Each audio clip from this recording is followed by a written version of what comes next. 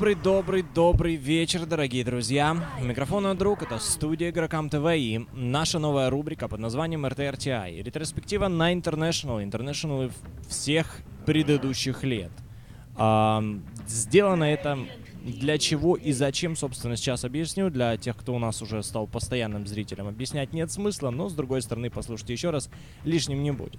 Так вот, основной месседж, который, э, который хотим мы для себя уяснить и который хотели бы э, привнести своими стримами вообще для всего комьюнити, это разбор, аналитика и понимание того, как же у нас Dota видоизменялась на протяжении последних лет от э, первого, второго, третьего, четвертого интернешнала прямиком к 2015 году, к интернешналу, который у нас вот-вот готовится стартовать через каких-то пару месяцев э, в Сиэтле. Ну и э, мы уже в первом выпуске проанализировали 2012 год и на примере игры команды Navi против команды Orange разобрались, как видоизменялась Дота от артстайла до пупея. Потом разбирались, как Дота видоизменялась от эм, того же Арсарта до Куроку. Э, и Доту я говорю, конечно, новишную Доту, потому что первые три э, рубрики взяли мы с данным коллективом. Наиболее ярким, наиболее интересным и того коллектива, которому внимание всего мира приковано уже не первый год. Ну и сейчас берем Нави. Опять же Нави, но уже Нави образца 2014 года. Вот последние Нави, которые э, показали на основном этапе этого турнира себя в, той мере, в которой могли. И смотрим, что же у них было не так, что пошло не так и почему, собственно, э, Нави после 2013 года так э, резко начали катиться вниз. И почему игра шла на спад.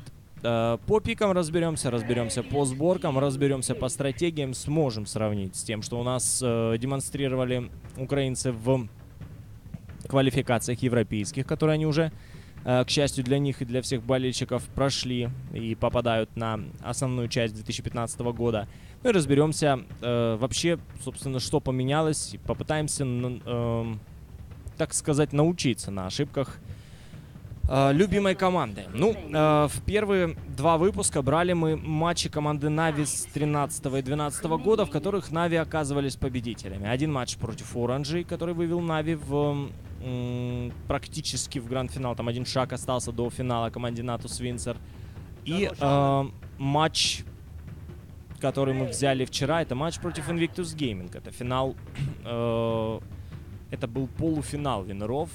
Нет, это был финал Винеров, все правильно. Invictus Gaming, э, которые проиграли Навям и свалились к LGD. Так вот, этот матч мы взяли для разбора. Там, где Нави оказались сильнее, чем Invictus Gaming. В данном случае мы взяли команду Cloud9, соперники э, команде Natus Vincere, просто чтобы посмотреть, э, я думаю, что это будет красноречиво, посмотреть, что в 2014 году команда Нави отличалась от себя же образца 13-12.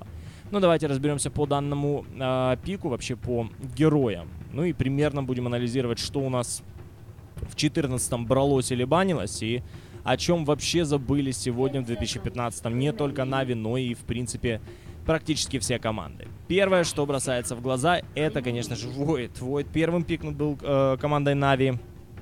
И такие герои, как Void, э, в принципе, сейчас уже не появляются. Вот сколько прошло? Прошло ни много ни мало, да почти год прошел с последнего International, ну и последние полгода очень редко можно увидеть э, Вайда в пике любого коллектива.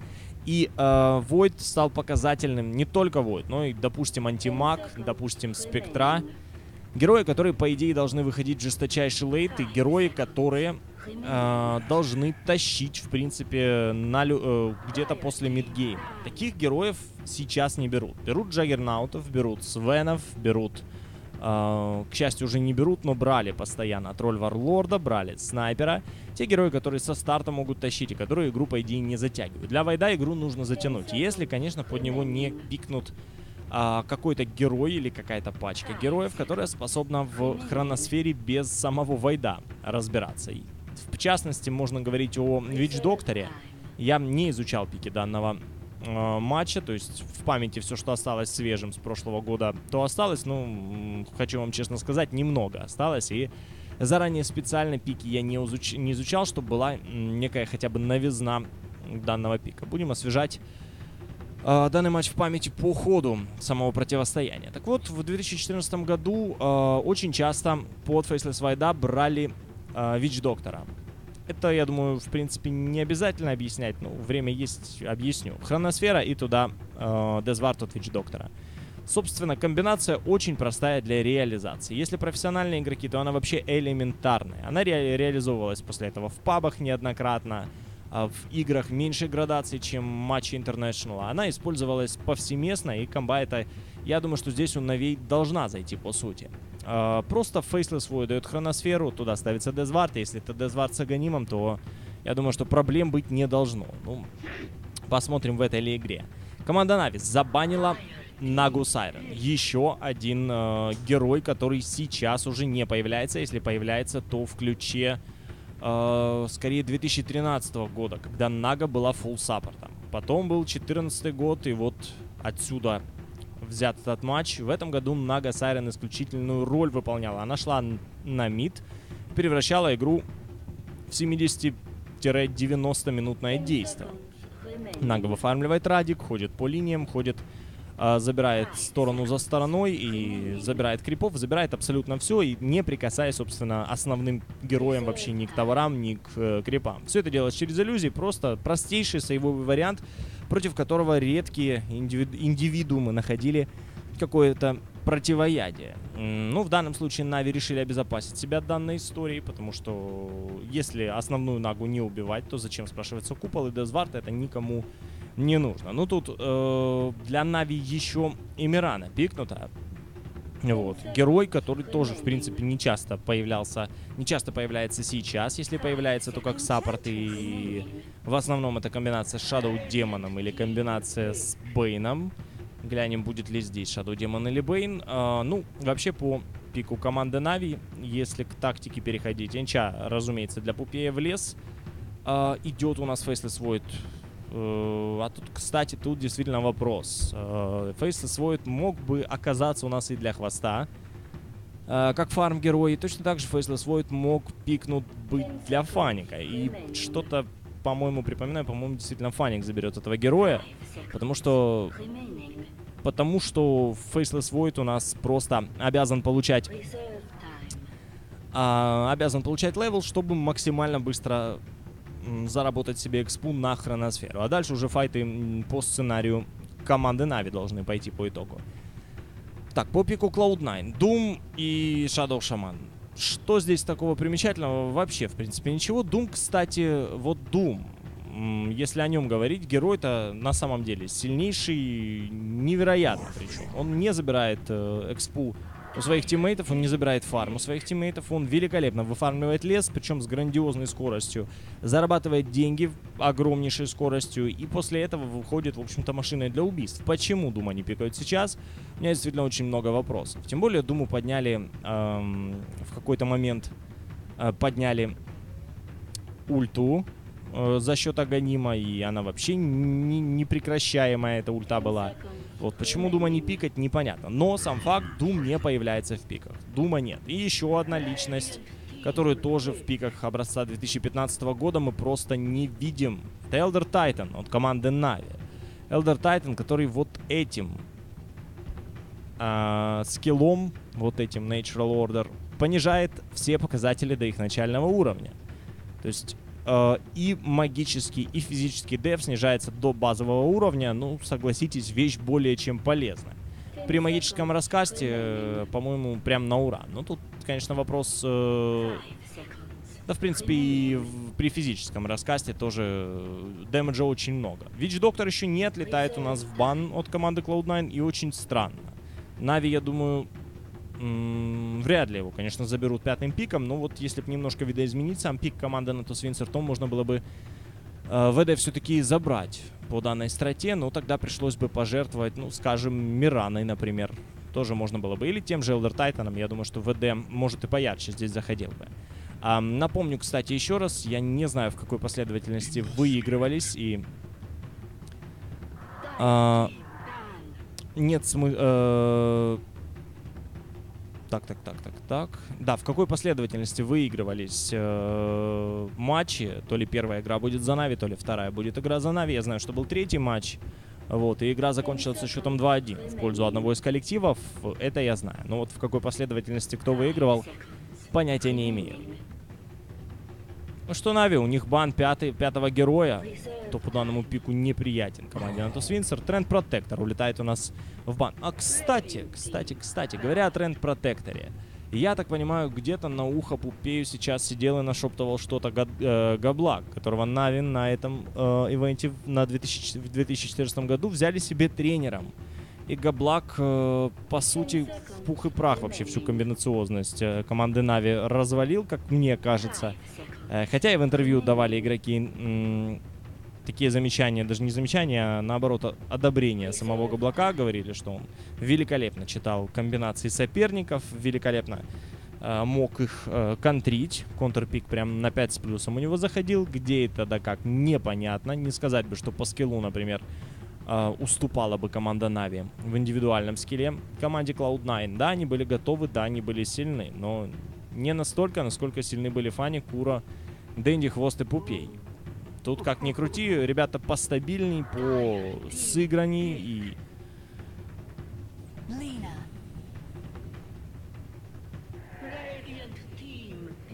Ну что, Лина от команды Нави. Лина, скорее всего, мидлейн, я думаю, от Дэнди. Ну, пожалуй, что так. Энча будет для Пупея. Кура заберет себе а Кура заберет себе Элдер Тайтана, я думаю, Мирана будет вполне, может быть, для хвоста, а в э, сложную линию пойдет Фаник на Фейслес Вайде. Ну, это, мне кажется, вполне вероятно, но, опять же, ВД здесь нет, значит, комбинации не будет э, по сути таковой. И главное, что Cloud9 не забанили у нас Вич Доктор. Cloud9 не боятся этой комбинации, как против нее работать, я не знаю. Морфлинг пикнут, но от команды Cloud9. Еще на тот момент не настало время корявых морфлингов с э, меками, юлами и дагерами.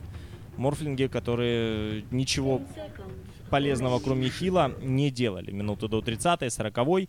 Здесь Eternal Envy забирает себе Морфлинга, а Eternal Envy это, в общем-то, керри с большой буквы. Значит, Морф у нас будет фармить. Ну что, по пику определились. Э, по пику много. К 2015 году-то и понятно. По пику много новых старых лиц, которые сейчас все реже и реже у нас появляется. Элдер Тайтана не помню, когда видел последний раз. Дума тоже не помню, когда видел последний раз, как бы это 14-м Интернешнлом не попахивало. Фейслес Вайда тем более не помню, когда видел последний раз. Ни на сложной, ни в легкой, э, ни фармящего, ни просто героя, который собирает у нас всех в кучу. Ну, хвост забирает себе Фейслес Вода, значит у нас будет керри Не оффлейнер, а керри и, скорее всего, в легкой линии. Ну или как минимум при поддержке саппорта. Фаник забирает себе Elder Titan а на сложную линию. Ну и теперь у нас, я так понимаю, Куру и Дэнди не разобрали своих героев. Дэнди забирает себе Мирану. Вот так вот приехали. Мирана для Дэнди и Кура забирает себе Лину. Ну и со стороны команды Cloud9. SingSing забирает себе Ember Spirit, а Pieliedie. А, так, почему у меня камера автоматическая? Нет, свободненькая.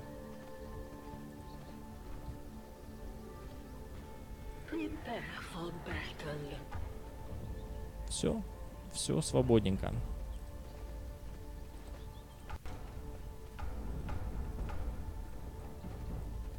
Все, в принципе, готовы.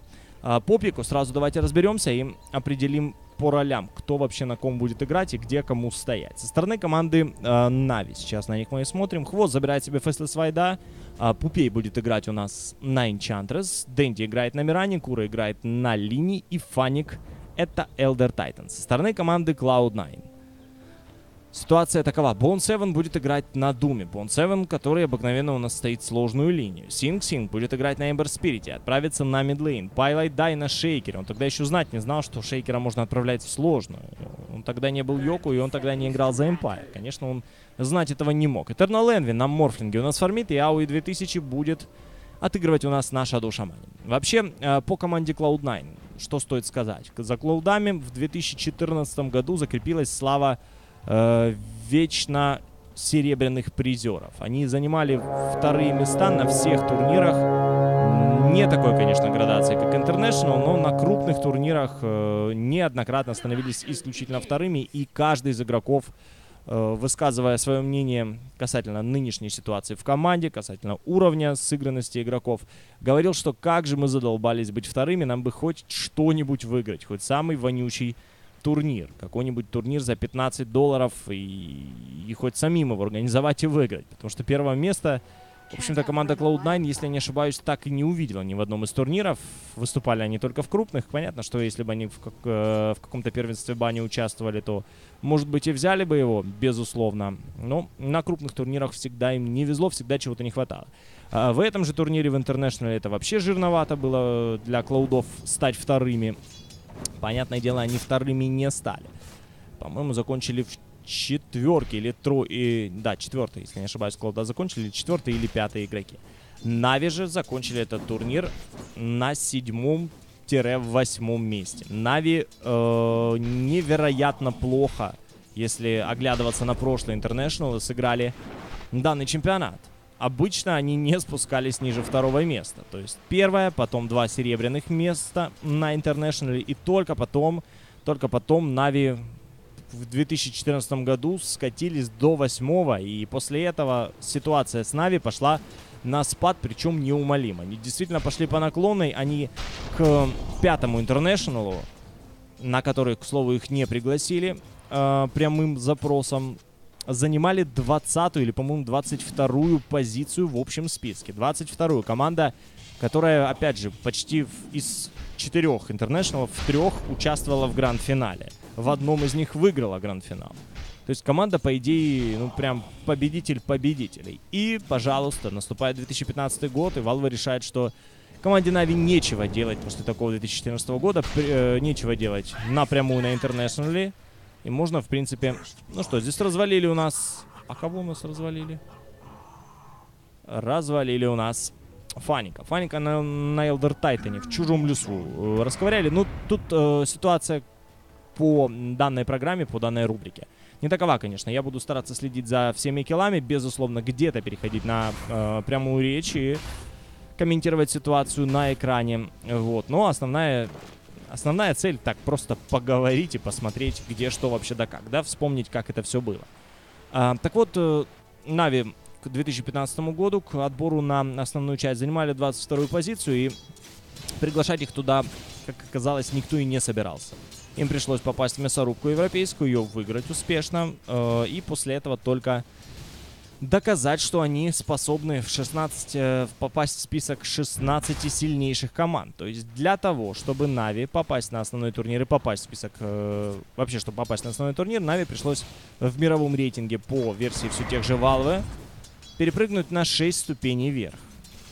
Победить европейские квалы и там оказаться с 15 такими же командами. Естественно, у Нави есть шансы на хорошие призовые. Есть ли у, на, э, у Нави шансы на победу в Интернешнл или хотя бы попадание в высокие призовые, где-то второе-третье место? Не уверен, на самом деле не уверен, но время, в принципе, покажет. Ничего говорить не буду.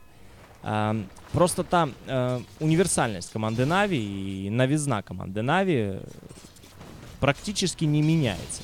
В 2014 году противоядие против команды Нави э, нашла команда Cloud9 в частности, и Навей просто-напросто отправили спокойненько наблюдать со зрительских кресел за тем, как протекает International. Ну и выключили вообще из борьбы. Нави заработали там, по сути, в, в, в сравнении с командами-призерами копейки на этом турнире.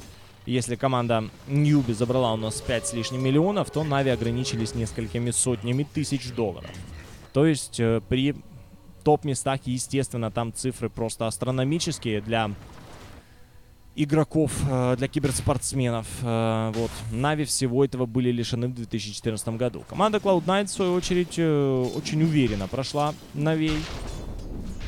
В третьем решающем матче мы с вами это увидим. Третий решающий матч, правда, был просто знаменательным и очень сильно запоминающимся.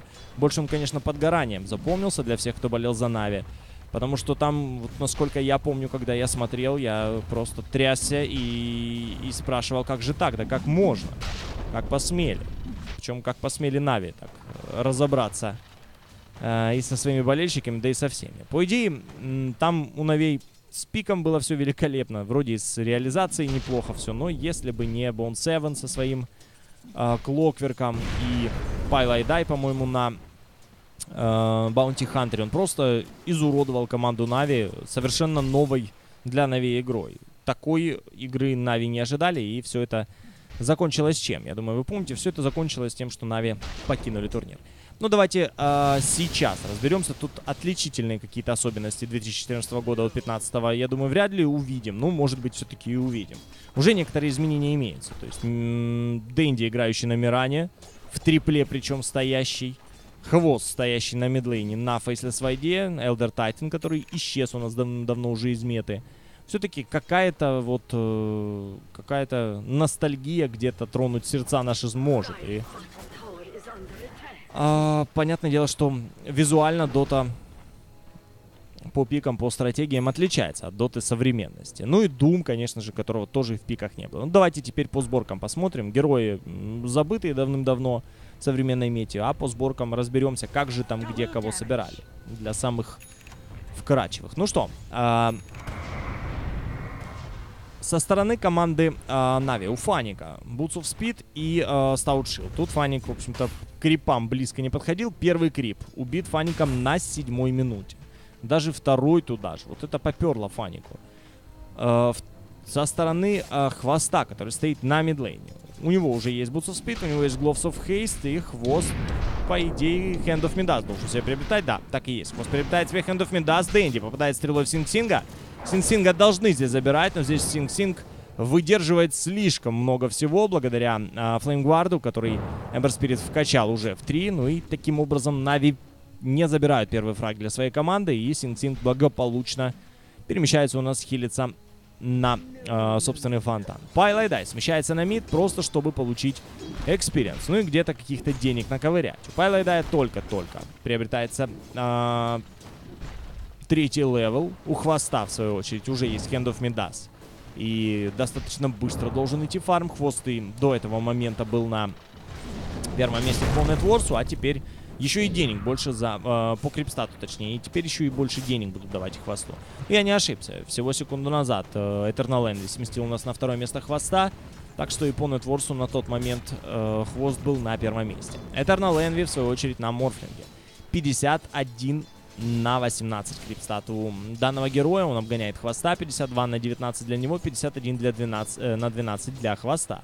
У Eternal Envy уже есть э, Power Threads, у него уже есть Базилка, есть Ring of Hells.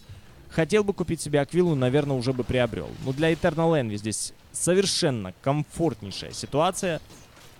Его не накаляет Фаник никоим образом. Фаник здесь стал, э, я так понимаю, просто заработать экспу. И, по сути, э, Фаник может быть бесполезен в плане фарма. Фаник тут нужен, чтобы заработать level, чтобы у него наконец-то появился ultimate. И вместе с этим вот дополнением к э, дракам команды Нави можно будет уже более-менее файтиться. Но видим, что у Фаника дела по фарму тут такие же, как у Пайлайдай. Третьего level а Фаник, третьего level а Пайлайдай. Куро, кстати, подходит у нас в спину Пайла Эдаю. Пайла Эдай видят. Пайла Эдай достоялся за деревом. Его здесь топят. Куроку тоже, скорее всего, отъезжает. Пайлайдай на low хп. Забирает Elder Titan. Ну и Фаник начинает мансить от Синг-Синга. Два кентавра сразу за Eternal Envy. Фаника привязывают. Ну и через chain ы, и через Flame Guard развалили достаточно быстро. Вот АУИ 2000 отсюда не уходит. Команда Нави разменивается 2 в 2. По итогу этого файта мы не знаем сколько, потому что матч был слишком давно. Fight recap нам нифига здесь не покажет, а вот по графикам посмотреть сможем. А, полторы тысячи Cloud9 по золоту, 2000 Cloud9 по experience у. Нави эту игру постепенно уже проигрывают. Eternal Envy выходит на хвоста. У Eternal Envy на восьмом level е Adaptive Strike не прокачан. Даже близко. Причем, ну, наваливает по хвосту неплохо. У него есть э, Waveform.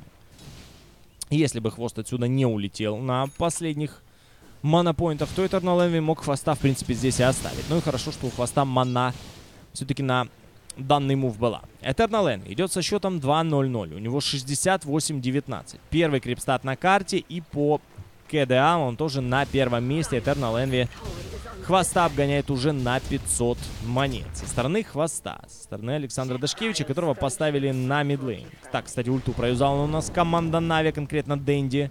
Все ушли в инвиз, а зачем кого-то гнать? Бон Севена или там Дум был на гон? Дум был точно на ком-то, вот на ком я не обратил внимания. Но здесь нормальный по save у Дэнди. Команда Нави не теряет еще одного героя, хотя могла бы.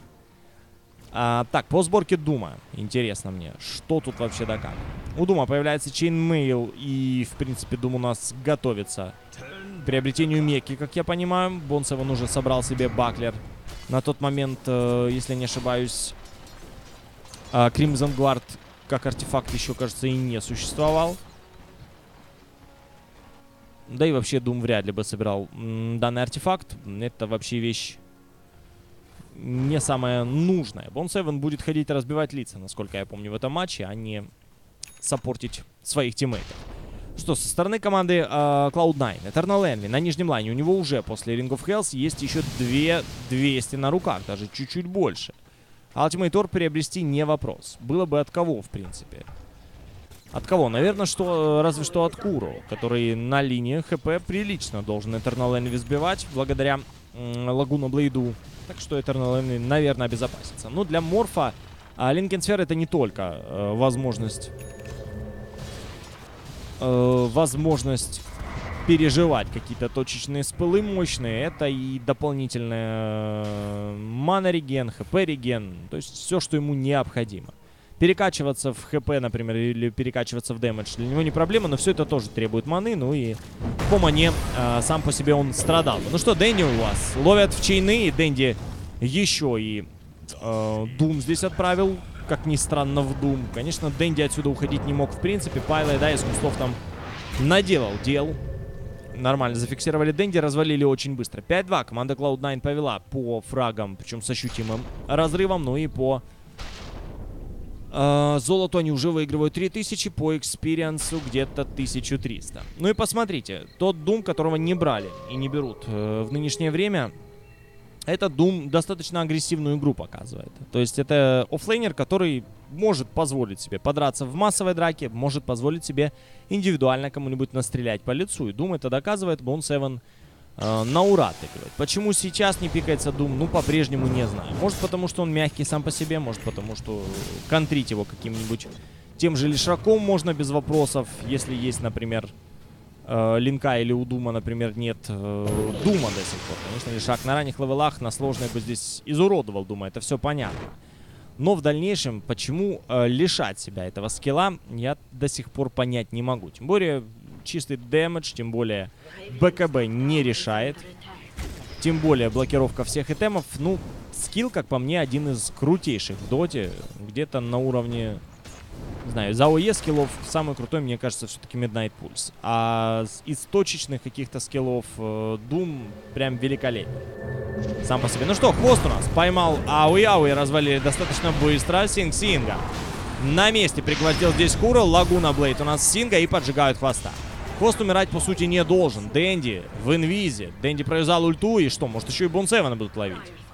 Хвост, в принципе, умереть здесь никоим образом не должен. Здесь недалеко у нас еще был Пупей со своими виспами. Хвоста выхиливают как могут. Хвост у нас не умирает, а вот команда Нави забирает двух героев. Счет становится 5-4. И Синг-Синг, и Шадо Шаман отправляются у нас в таверну. И команда Нави практически сравнивает э, счет по фрагам. Ну что, 13 минута, 40 секунда, Нави выходят на Роху. Фаника оставляют просто здесь как э, пугало некое, которое будет показывать, что вот он, я здесь стою, сюда не подходите, мы тут всей командой, а на самом деле всей командой Нави, не всей, ну, дееспособной частью команды на Рошане. Ну и хвост достаточно быстро с Рохой справляется. Faceless Void, который не, вообще практически не берется у нас э, в последнее время. Faceless Void еще и у нас по стандартному пику. Первым артефактом каким-то, который damage серьезно повышает. Это Mask of Madness для Faceless Void, который э, DPS войда, в принципе, бустит на любой стадии игры. Чем больше damage а, тем больше башей. Чем больше башей, а, чем больше скорость атаки, точнее, тем больше башей. Чем больше башей, тем больше damage а для хвоста. И Александр это прекрасно знает. Ну и вообще, по голде Cloud9 2000, по experience у, Нави впереди 500. 500 по экспе для украинского коллектива. По сборкам давайте смотреть. Как там Дэнди собирается у нас на Дэнди на Миране вообще чудо из чудес. Как смотреть э, на такое без слез умиления? Непонятно. Так вот, Мирану Дэнди собирал следующим образом. Это Аквила, это барабаны. Вот на подходе у нас уже у Дэнди ПТ вместе с Magic Stick. Стик у нас не грейдится до ванда. А, вот барабаны на Дэнди, все, в общем-то, для команды. Ну и не, не будем забывать, Дэнди у нас стоял и фармил в легкой линии. Нафармил, конечно, немного, 52 на 19 на 15 минуте. Для легкой линии ситуация должна быть и поинтересней. А вот, а эм, ну, свои функции в любом случае выполняет. Я смотрю тут, когда Moonlight Shadow необходим, Дэнди постоянно его юзает. Со стороны команды Cloud9, кто там у нас против триплы отправлялся? Это был Bone 7, у него уже почти 10 level. Bone 7... Bone 7 в порядке в данном матче. А, так, ребята, ну что, у нас на топе должен быть, я так понимаю, замес. Вроде бы Пупей подходит и готов файтиться. Неплохо было, если бы так случилось.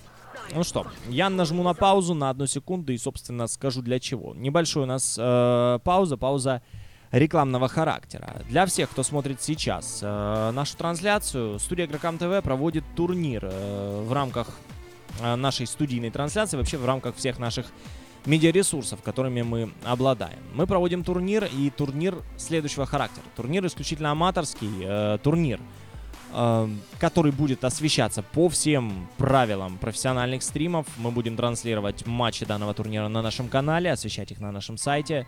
Естественно, все это будет э, в нашей группе ВКонтакте, это будет э, на Ютубе, как вводы э, матчей. Ну и стандартная, хорошая, понятная всем организация турнира по по таблице, по самой, вот простейшая графика для понимания, то есть вы разберетесь. Если у вас есть э, тиммейты и у вас команда из пяти человек, пожалуйста, регистрируйтесь и регистрация очень простая, просто надо состоять в нашей группе.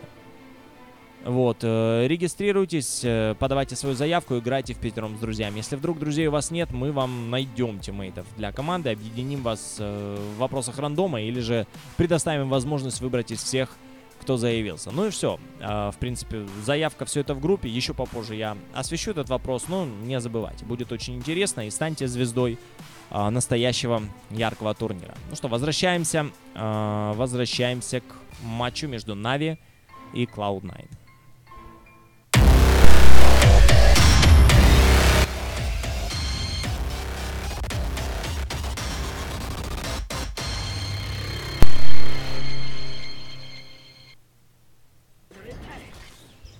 Что у нас здесь? Как мы оставили ребят, они так и стоят. Ну, конечно, потому что матч этот был 19 июля, и это повтор, и я им управляю. Разумеется, они стоят так, как, так, как мы их оставили.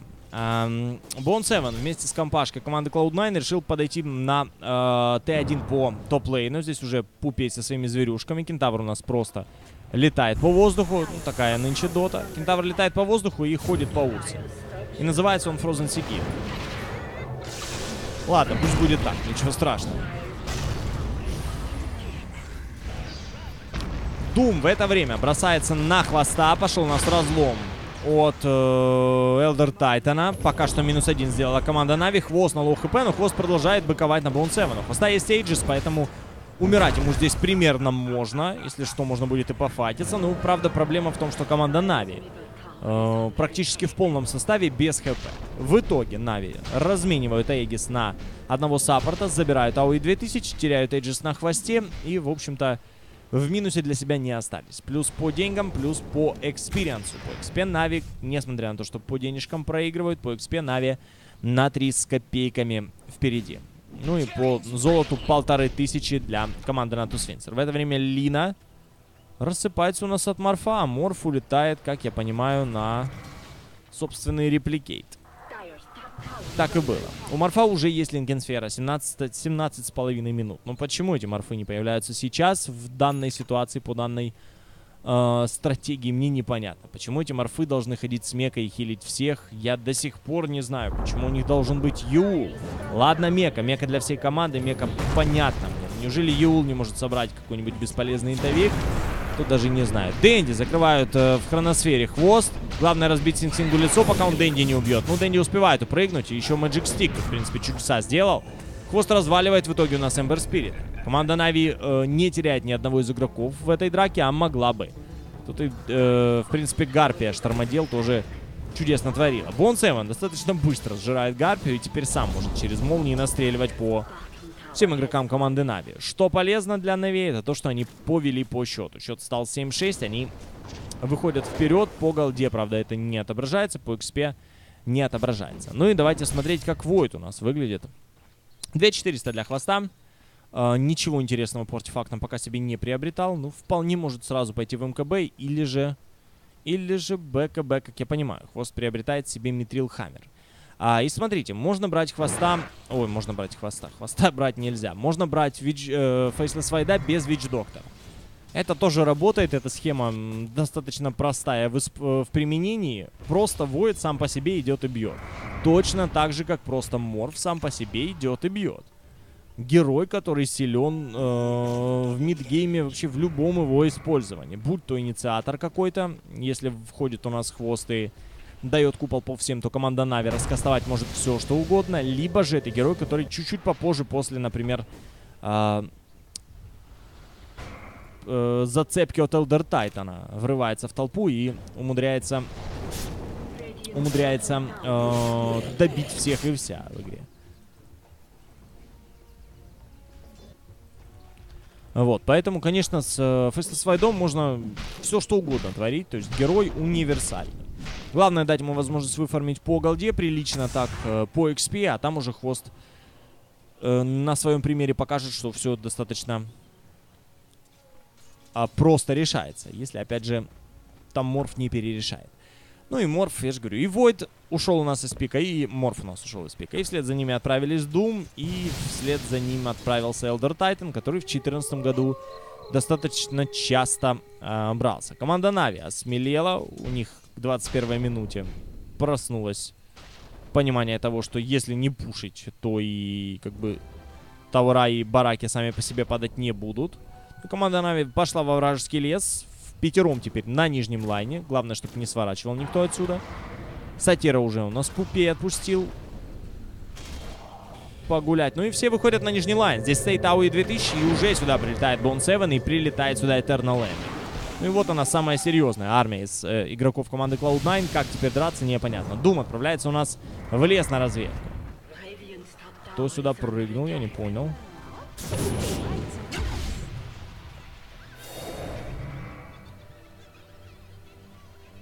Да, здесь в доте, конечно, черти что творится. Ну и бегает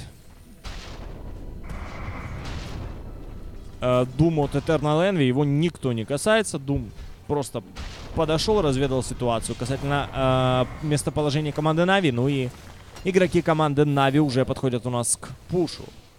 Фаника через секунду будет Астрал Спирит. Отправляет его в кусты прямо за тавер. Можно бы и подстопить кого-то. Уже продамажил достаточно прилично. Дэмэджа у Тайтана должно быть много. Смотрим. Плюс 120. Почему бы не идти и не подраться? Ну просто, я думаю, что Фанику есть смысл дать ульту. И, наконец-то, начинать э, врыв от команды Нави. Есть хроносфера. Стрела у Мираны тоже имеется. Так ворвитесь и используйте. Ну, здесь Нави топчется. Топчется, а денежки и время работает на команду Нави. Потому что с каждой минутой ценность преимущества команды Cloud9 все меньше, меньше и меньше. Нави фармят, Клауда стоят под собственным тавером. Э, вот, не всегда выходят даже, чтобы экспу получить у нас от крипов. Ну и команда Нави ждет удачного момента, чтобы ворваться. Пока что момент этот не предвидится. И штормовая гарпия здесь просто настреливает нон-стоп. Штормовая гарпия от Пупи. Еще одна иллюзия у Дума пошла бить штормовую гарпию. Э, стреливает и щекочет нервы Бон Ну и получается это потихоньку, по чуть-чуть, но все-таки получается. И не прочь уже как бы и съесть ее. Бон не удалось. Просто убил ее Eternal Envy. Странно зачем. Ну а в это время Синг Синг на Эмбер Спирите фармит. У него уже есть э, Point Booster, у него есть Ultimate Torp, у него есть всего по чуть-чуть, но что это в итоге, я до сих пор так и не понял. И как Эмбер Спириту сюда прилетать, кроме как на ТП? Ремнантов вроде здесь нигде нет. Эмбер Спирит, если будет лететь, то Синг-Сингу придется юзать ТП. Ну, а дальше можно будет тут подраться. Нави, мне кажется, застояли здесь. Э, полезные вещи, которые они по таврам получают, это то, что тавр потихоньку пушится, но Т1, по идее, побыстрее должен был бы спушен быть. В итоге Нави просто выдавливают команду э, Cloud9 отсюда, а сами уже начинают потихоньку терять Т2. Синг-Синг у нас подошел под э, Т2. Ну, такая комбинация. Можно брать Эмбер Спирита для сплитпуша, почему бы нет. Да и не только Эмбер Спирита, и Бон 7 тоже в соло мог бы здесь сплитпушить. Синг-Синг привязывает Дэнди, ну и если был бы fist, я думаю, Синг Дэнди развалил бы. А так Синг отсюда вынужден уйти. Um, вообще, пик команды Cloud9 мне более симпатичен, чем пик команды Нави. У Нави не такая простая реализация, как у Клаудов, а я любитель простых стратегий. Пуш это Shadow Shaman с, э, со змеями. Понятно. Damage с руки, который будет носиться, это Морфлинг и Эмбер Спирит. Контроль над героями соперника это Shadow Shaman за счет Шейкла и за счет Хикса. И это Шейкер за счет всего, что кастует Шейкер. Ну и выключение кого-то из файта, какого-то важного героя, какого-то мейн-героя, это Бон 7. То есть всего у команды Cloud9 предостаточно. Единственное, чего не хватает, как по мне, так это... Ну, они зависимы от денег, потому что нужна мобильность, нужен шейкер, у которого должен быть даггер. И Shadow Shaman, например, тоже неплохо бы заиметь даггер. Но и Shadow Shaman может у нас э, выйти в абсолютный пуш. Если будет Аганиму Ави 2000, то, конечно, что понятно, что товара будут в мгновение ока падать. И товара, и бараки. Ну, тут самому э, Shadow Шаману придется жертвовать чем-то. Либо это будет мобильность, либо это будет даггер, либо это все-таки будет э, вот такой вот максимальный пуш. И я вижу, что Ауи уже у нас поинт бустер приобретает, готовится к появлению Аганима. 25 минут сыграно. По золоту 3,5 клауда, по experience у 3000 тоже клауда. Ну и команды стесняются друг к другу подходить в принципе. У Нави ситуация такая, что Вайду надо фармить. Да и Дэнди неплохо бы получить необходимые артефакты. У Вайда ничего нет на damage, кроме собственных рук дубинки в руках. Не просто дубинки, timebreaker а. Да, все тот самый timebreaker.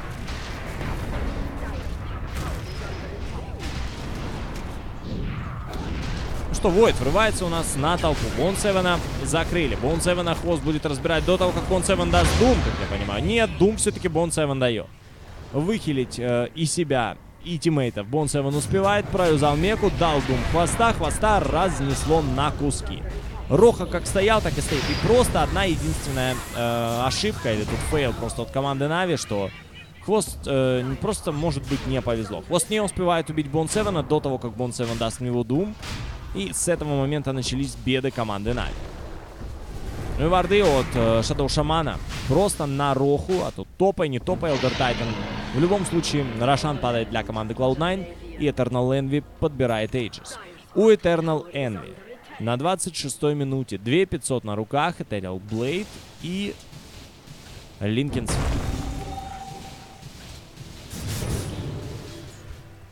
Ну и классно себя чувствует Envy. Почему бы еще и переживать? Ну тут что-то Нави сливают, сливают и сливают. Пять с половиной, даже шесть тысяч проигрывают Нави у Клаудов. И две тысячи по experience у тоже команда Cloud9.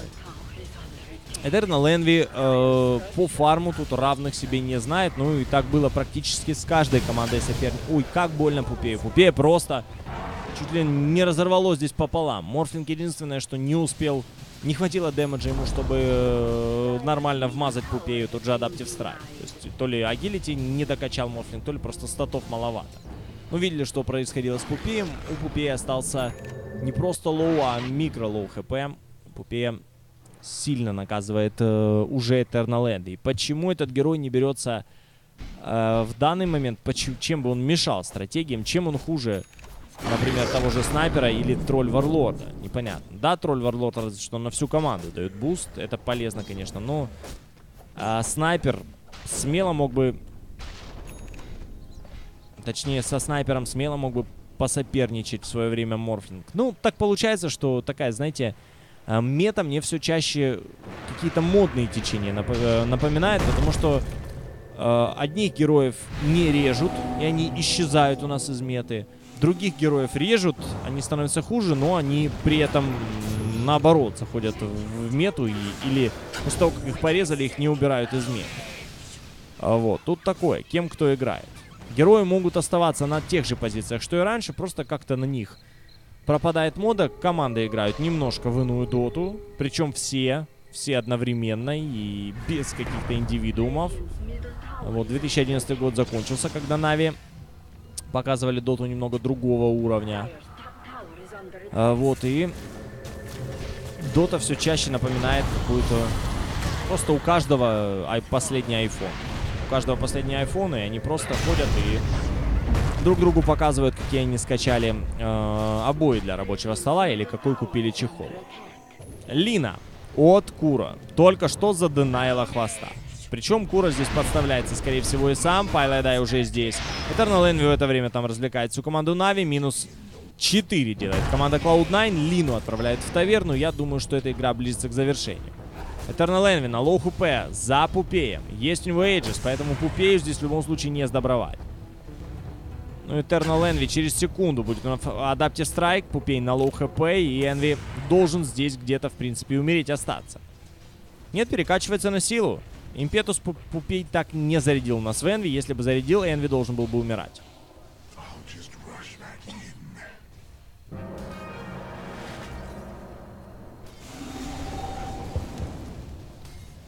А, 29 минут с копейками. Cloud а выигрывают 11 тысяч по золоту и 7500 по experience у.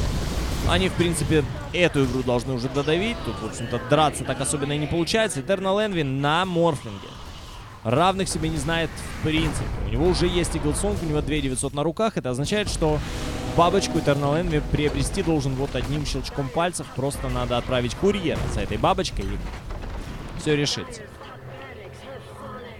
Или хотя бы самому слетать на базу, а потом на какой-нибудь э, нырнуть. Ну и э, Eternal Envy, по идее, в соло уже эту игру мог бы заканчивать.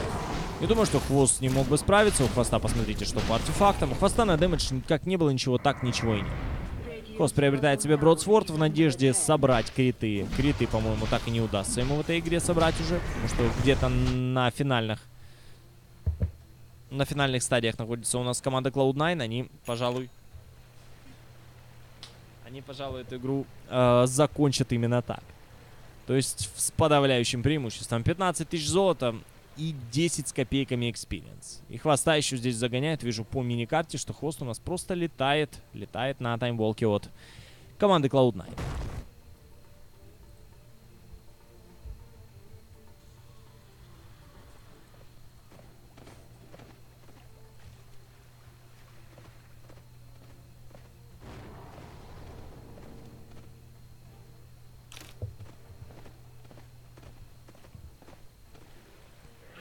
Что Энви остается, кстати, делать? Кроме того, что пойти и просто расковырять хайграунд команды Нави.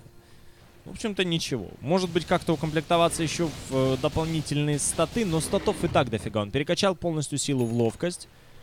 А, если здесь появился бы БКБ на Морфея, ну и встроенная сила какая-то капнула, наверное, было бы неплохо. Дополнительная хпшка плюс неуязвимость против э, той же Лины. У Лины, да, гонима немного, конечно, но и пораньше можно было позаботиться об этом. Э, а, против Лины вот что есть. Против Лины есть Линкенсфера. Да, Лина ничего Eternal Envy сделать не сможет, в принципе, если у него будет БКБ. Да и вообще Марфу никто с БКБ линкой ничего сделать не может. Линкенсфера и выйдет то, что бьет сквозь БКБ. БКБ защищает от всего, что не блокирует Линкенсфера. По-моему, на 5 с плюсом здесь просто ситуация. Использую не хочу.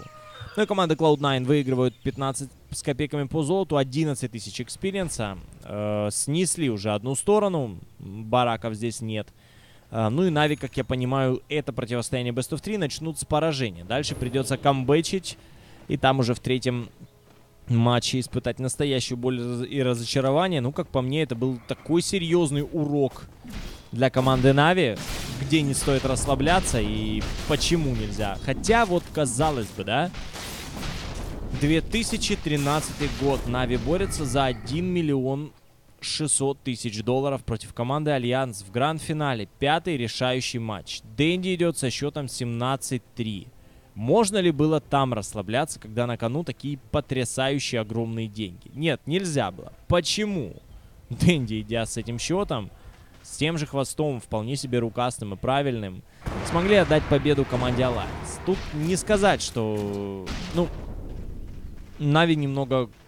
Э, ну, не сказать, что не совсем расслабились, но э, такие вот огромные суммы преимущества вообще, я понимаю, что я не помню, сколько там по золоту было, но... Э, не помню, сколько там было по золоту, но вот по фрагам Нави, конечно, опережали очень сильно своих соперников. И как отдали, непонятно. Просто на расслабоне, видимо, отдали. Сказать, что не зашло, заходило весь матч, а потом раз и не зашло к концу игры, ну, так не может быть. Но здесь у Нави не зашло еще со старта, здесь Eternal Envy просто в порошок стирает команду Нави. Triple kill от него, ну и вообще счет для Морфлинга 12-0-3. Если вы мне скажете, что сейчас Морф не мог бы войти в мету, я буду долго смеяться. Мне кажется, что Морфу самое время э, конкретно возвращаться в эту мету. И не уходите из нее. Я думаю, что ближе к Интернешнлу об этом прекрасно. Все вспомнят. Вот, пожалуйста, 14 год. Морфа, по-моему, до Интернешнла не пикали. Э, но если пикали, то достаточно редко. Э, вот. Тогда у нас популярен был Ember Spirit. Э, Брюммастер был популярен невероятно. Морф как керри редко когда заходил. Про антимага все забыли, про Фейслес Вайда еще помнили, ну, в пачке с э, Вич-доктором. Без Вич-доктора Фейслес Войд оказался бесполезным. То есть он ставит хроносферу, а бить в нее сам не может, а кроме него просто-напросто некуда. Э, некому, точнее. Ну что, друзья, первая часть э, сегодняшнего выпуска Retro International э, пока что завершена. Небольшая пауза 5-6 минут. И мы перейдем ко второй части. На второй матч подключимся между командами Navi и командой Cloud9. Все, не переключайтесь, это Retro International, взгляд на прошлое, чтобы в современном э, Dota мире делать поменьше ошибок и больше понимать, что да как развивалось. Это студия Гракам ТВ, у микрофона друг, до связи.